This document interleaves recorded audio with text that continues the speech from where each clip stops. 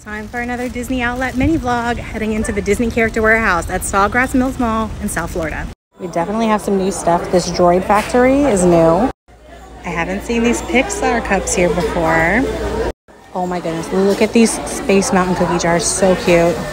They've got these super cute mini plushes and some 50th merch has made it to the outlets. Oh my goodness, this little Bao Bun mug for $7.99. I'm dying, it's adorable. I'm feeling this Pixar shirt. Really, all of these. All right, we definitely have some cool new Star Wars stuff. There's a Jedi figurine, a Sith obelisk, and a Protocol Droid hand frame. That is so cute. Oh, there's a Bluetooth speaker. That's pretty cool.